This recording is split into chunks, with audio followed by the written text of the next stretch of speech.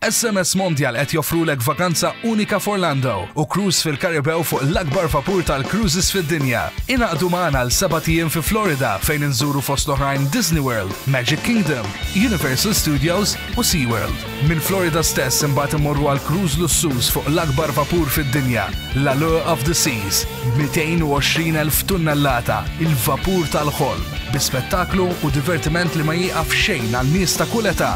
SMS Mondial jistidnukom biex f'Settembru tmurru Orlando u Western Caribbean Cruise ma' Royal Caribbean.